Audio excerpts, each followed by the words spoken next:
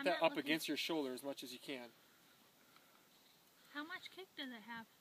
Not that much. Are you sure? Just keep It's just a- Yeah, just your keep just. AR. close to your shoulder. Do I have to look through the thing? I'm just gonna see.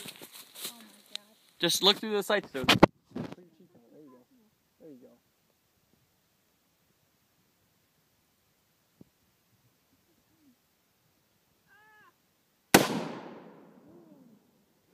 Up against your shoulder.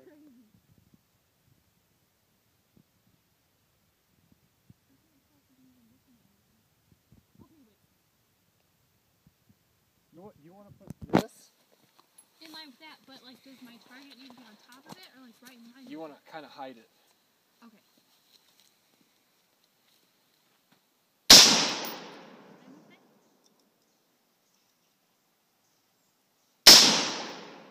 You're low. Go a little bit higher.